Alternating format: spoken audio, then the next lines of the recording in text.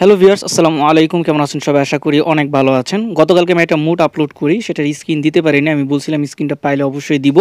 তো বিডিবাস লাভাবের চ্যানেল থেকে স্ক্রিনটা কালেক্ট করলাম। আর এটা একটা ট্যাম্পলেট আছে টেমপ্লেটটাও দিয়ে দেবো। আপনারা ইজিলি আপনাদের নিজেদের মতো স্ক্রিন মেক করেও ইউজ করতে পারবেন। আর যারা এখন এই মুডটা পান নাই মুডের লিঙ্কও দেওয়া আছে, সুন্দর মতো আপনারা ডাউনলোড করতে পারবেন। ওকে সবাই ভালো থাকবেন, সুস্থ থাকবেন। আল্লাহ হাফেজ।